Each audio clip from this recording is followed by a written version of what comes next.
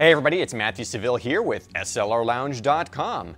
This video is about mirror lockup and the general concept of eliminating mechanical shake from your images. Now, mirror lockup itself is a feature that's been around for many, many years, but you might not have delved into it yet. However, if you shoot landscapes or anything still from a tripod and you're concerned about the utmost sharpness, you definitely want to pay attention. Even if you've recently switched to a mirrorless camera without a mirror, you actually still want to watch this video. First, because I love camera geeky history lessons, let's talk about the overall history of mirror lockup and how it came about. Right before you click a picture or as you're clicking a photo, what happens is the mirror flops up, ka-chunk, and the, then the shutter opens and goes click to start the exposure.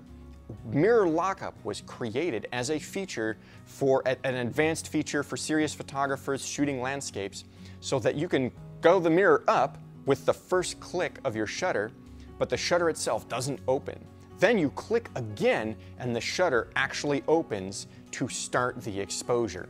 That eliminates, that allows you to eliminate the motion, the mechanical junk of the mirror going up and then you wait for that precise moment. Say there's water crashing on waves at the beach or something, then that's when you click that shutter. Now you have to be using a cable release or a wireless shutter release, otherwise all bets are off because you're touching your camera to click the photo. So that's one thing to remember.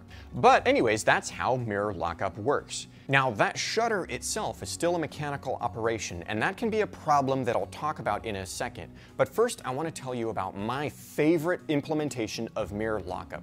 And unfortunately it's only available on Nikon cameras. It's called exposure delay mode. And what I've done is I've programmed it onto my function button on all of my Nikon cameras and what it allows me to do is to turn on a one or two or three second timer.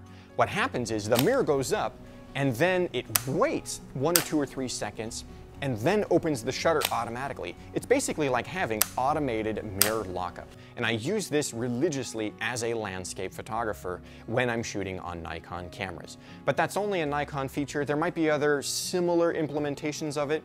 Canon has two second timer. Uh, but it's, it's still, it's, it might still be different based on which camera you have. Fortunately, by the way, you only need to worry about mirror lockup at certain shutter speeds that are really the worst as far as making blurry images. If you're shooting, for example, a 5 second or a 10 second or whatever long, long exposure, you actually just use 2 second timer or whatever and you'll be fine. If you're shooting at a half a second or a quarter of a second or an eighth of a second though, that is when, that's the danger zone, when you really, really need to pay attention and use mirror lockup if you can.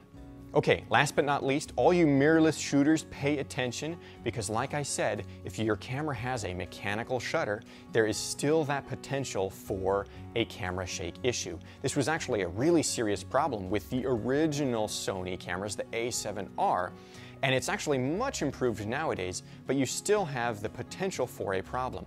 So what cameras have now, the modern cameras, have what's called electronic first curtain shutter. And what that does is the mirror goes up, if your camera has a mirror, and then the shutter also opens and waits for you to click the shutter that second time, the button, and then it starts the exposure electronically with no mechanical movement whatsoever, and that is how you eliminate all shake from your images. Now, unfortunately, on Canon, Nikon, and Sony, electronic first curtain shutter is implemented a little bit differently and it's kind of complicated even from camera to camera. So you're gonna have to dig out that camera manual and look it up and see how it works so that you can be the master of eliminating all shake, all blur from your images. Now, of course, wind on your, on your tripod could also be a problem, but that just takes, you know, practice out in the field. But hopefully, with this knowledge of mechanical mirror lockup, and if you have it, electronic first curtain shutter, you should be able to create the sharpest possible images that your camera and lenses have to offer. So that's about it, folks. Thank you so much for tuning in, and we'll see you in our next video. And that's about it. I think that whole take was trash anyways compared to the other one. All right. Done. I give up.